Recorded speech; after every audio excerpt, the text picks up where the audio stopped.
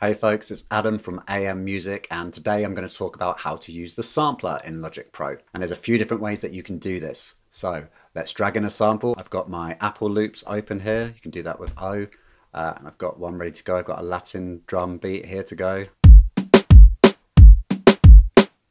Just that kind of reggaeton kind of beat. Say I like the sound of the drums, but I wanted to put that into a new rhythm. What I could do is drag that over, and rather than dropping it straight onto the arrangement page, or the main window, I'm going to move it over to the left where it says drag Apple loops here to create instrument tracks. And it says create a new track using the quick sampler. There's two different versions, the drum machine designer, the sample, alchemy. So that's using this sampler in Alchemy, and then the sampler, which is like the main sampler in Logic. You can layer multiple samples on top of each other. Um, so uh, the quick samplers here, the two different quick samplers, one's original, one's optimized. The optimized basically analyzes the waveform when it goes in. It will work out kind of the best tuning, the best timing, the pitching. It's going to optimize it for you to do some manipulations on it. So I generally use the optimized to be honest. So if we drag that on optimized, but they look exactly the same by the way. Let's drag that in. And you'll get this window come up and this is showing you the waveform and what that's done is it's split it across the keyboards, the MIDI keyboard. So every time I hit a different note, C, D, E on the keyboard, it's going to play each of these relevant slices. And it's sliced it where the transient is, so where there's a main note, basically, where there's a hit, a different bit of the drum beat. So that's pretty cool. And you can split it up in different ways. You can go to, say, equal divisions, and then you get it every kind of quarter note. Um, I'm going to leave it on transient and you can change the sensitivity, how often these markers are sliced kind of thing. So the sensitivity changes the length of those slices. So that's kind of this area. In this section here, you've got modulation. So you've got LFO1 and LFO2. They can be they can be used as a modulation for some of these other effects over here, the pitch, the filter, and the amp. And you've got two LFOs, LFO1, LFO2. Then you've got a mod matrix here. We're not going to go into that, but you could, but essentially you could have an LFO trigger the pitch so that the LFO, when it goes whoop, whoop, whoop, whoop, and it will kind of pitch left and right. So things that you probably will use though is the pitch. You might think, oh, I like that kick, but how does it sound? Plus 12 or minus 12, an octave. So you've got the pitch there got fine tune, you've got glide, which kind of is a portamento, then got filter as well,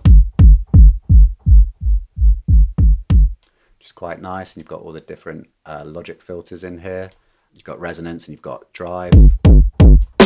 So that might be quite nice if you want a distorted kind of sound or if you've got some 808s that you're sampling.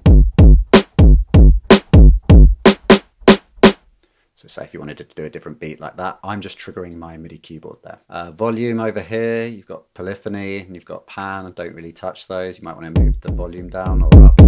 Uh, and other things is the envelope. This one down here is for the amplitude. So this one corresponds with this one, this one corresponds with the filter, and this one corresponds with the pitch. Um, so if I wanted to draw out the kick drum a bit, you can change the envelope make it snappy. And you can just click and move those points around to kind of design the sound how you want it to be. I'm not going to go through them all in this video because there's so many different features, but let's go to the classic mode. So I'm playing a really low C there, and as long as I hold that note, it's going to play. So if I play a bit higher up, say like a high C on my MIDI keyboard, So you see the pitch that you play on your keyboard is going to affect the speed basically and the pitch. So that's more your classic kind of sampler mode, but you can also change the playback direction on this one. So that's quite cool and you can loop sections. So say, uh, let's go loop forward and then this turns yellow and then you can move it to just do a little section.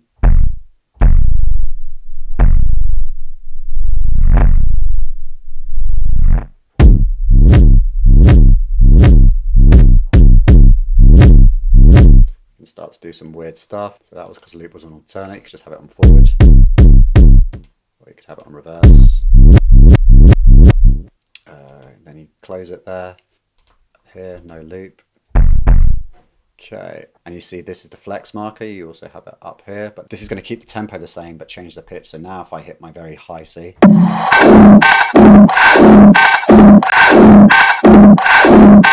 sounds like a asthmatic donkey or something.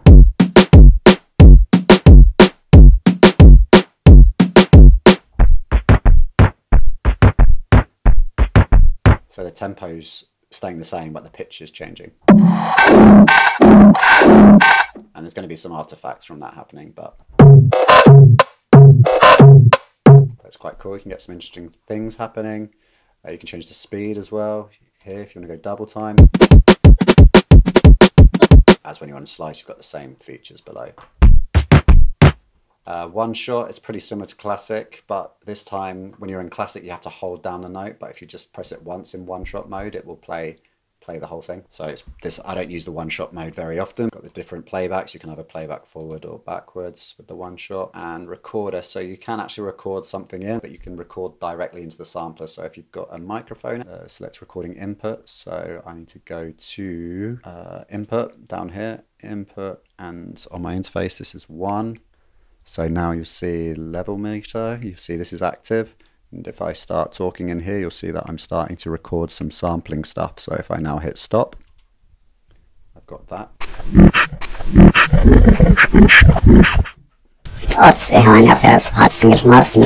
And it will replace what was in there before. So If I start talking in here, you'll see that I'm starting to record some sampling stuff. So if I I start talking in here, you'll see that I'm start, I start talking in here, you'll see that I'm starting to record. And you can really start to manipulate stuff in quite a cool way with the sampler. So that's how you use the recorder. Um, and then once you've recorded it like I did, you then come to any of your other modes.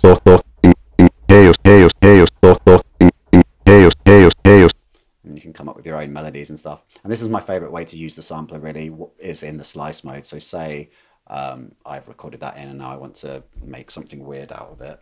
So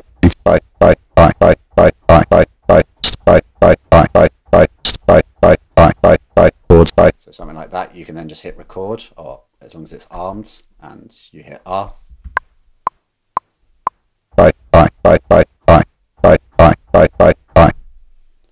hit Space, and you'll see that you've recorded it in, and you've got it in the MIDI editor as well. So if I just close that sec, you can now start to edit it in the MIDI editor. Uh, let's go eighth notes. Whatever you want to do. So that is the first way you can sample something. Let's just take some guitar now.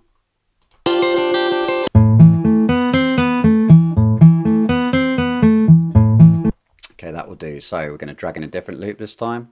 Going to come under here, basically covered those two. The original's the same as the optimized, as I said. Uh, drum machine designer. Uh, let's not look at that one now. Let's go to sample alchemy next. If you know Logic, you'll realize this kind of looks a little bit like alchemy. And what you can do with the sample alchemy is you can use three of their modes to sample stuff. So there's basically granular synthesis or granular sampling, additive sampling, and spectral sampling. So you can see the waveform here. So if I'm just playing a note on my keyboard again, you've got different options, you can change the speed. So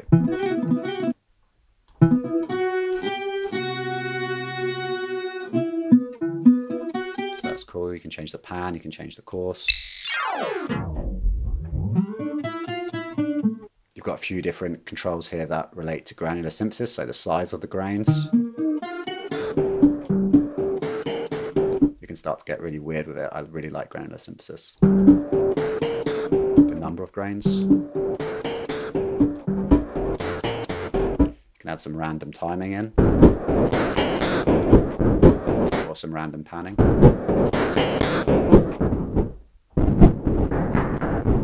then you've got a filter at the end, you have to turn it on first.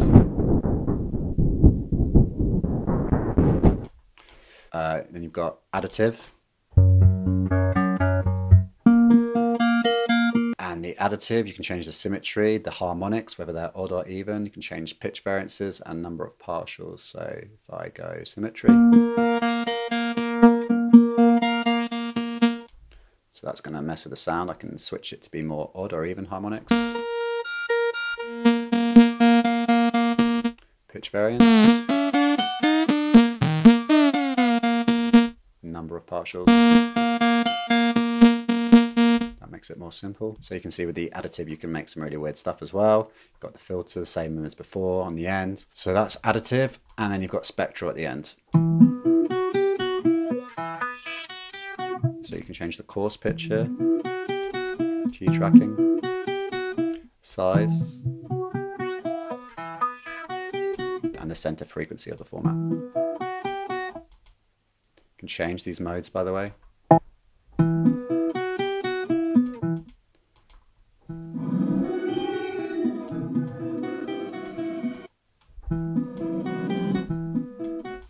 Interesting with the blur of the cloud.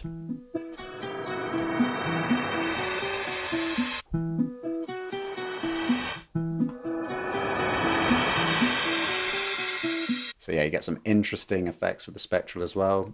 And with the additive, you've also got some of the things you can change. You can change whether it's partials or formant, and the granular just has the single mode. Okay, you can also add things like, so at the top, you've got loops as well. You can turn loop on and it will loop.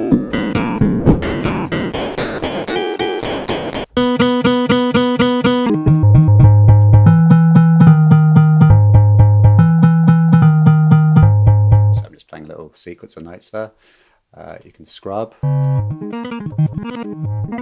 Quite cool. You've got this other mode, which is bow. Now go backwards and forwards on like the nearest transient.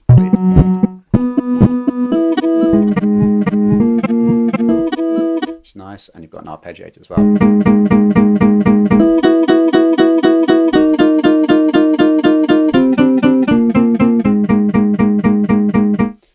Pretty cool. You can also add multiple layers in. So if you add in A, B, C, D, now you've got four layers on top of each other. So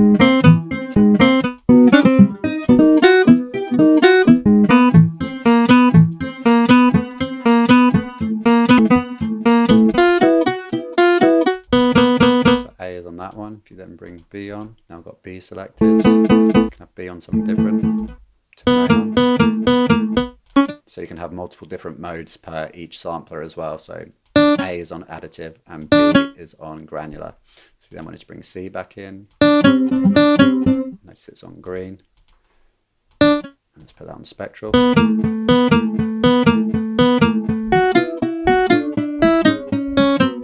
And you can also mix them as well to be different levels. So that's really cool. And they're arpeggiating because they're currently in uh, ARP mode, but you can just have classic. And it's going to play them all together, or you can loop.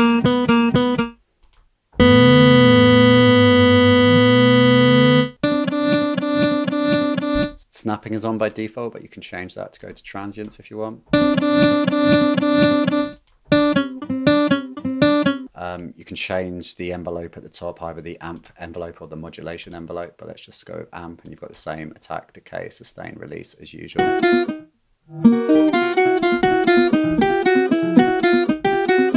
And that's sample alchemy. You can do a lot with it. It's quite powerful. Uh, let's move on. So let's go back to some drums.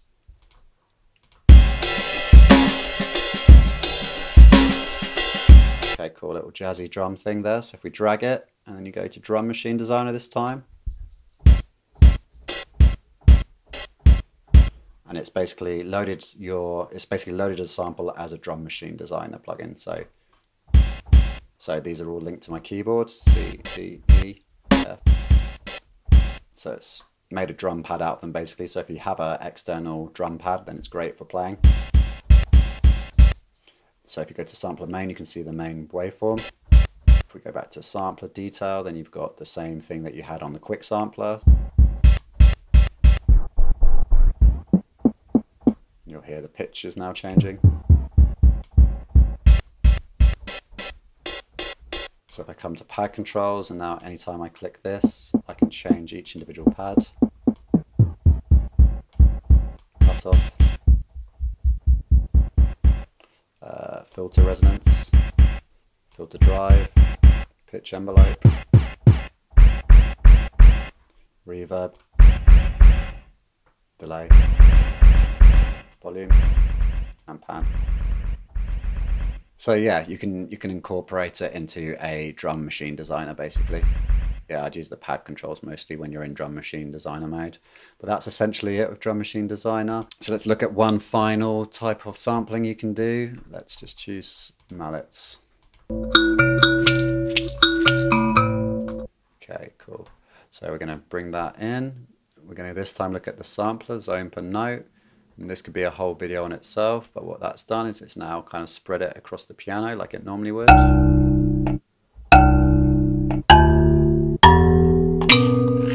So what this has done is it's kind of a multi-layered sampler. So you see these, these are the volumes. So if I play it quiet, one note, it kind of falls into a different category of whether it's quiet or loud. So there's technically four samples layered on top of each other here, but they're only activating at certain velocities.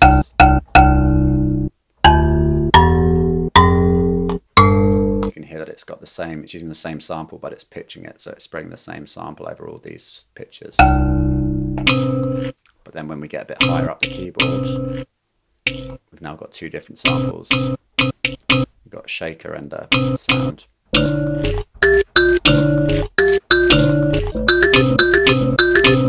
But then you can add in all these extra kind of simp stuff, a bit like the quick sample. You've got the mod matrix, you've got uh, that's the mod matrix there. You've got the modulations. Uh, you've got mapping, which is where we're in now, and you've got the zone. But yeah, the mapping is kind of what makes this one a bit more interesting. You can create groups uh, and you can layer. So this is just one group, but you could then one in.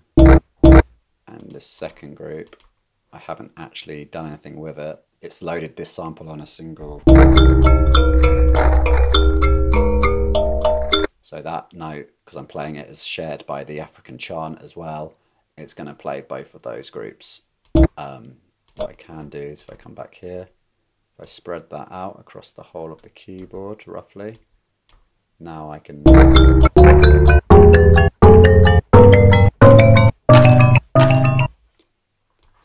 Wanted that one in as well. You can do uh, zone auto map. That's going to load it across the thing. Now basically you've got three different samples playing at the same time. So you'd probably use this more for like creating a virtual instrument and multi-layering lots of different samples. So you could create some really weird stuff with that. Okay, that is everything I'm going to show you in this one. But uh, yeah, hope you found that helpful. And if you have any questions, please let me know.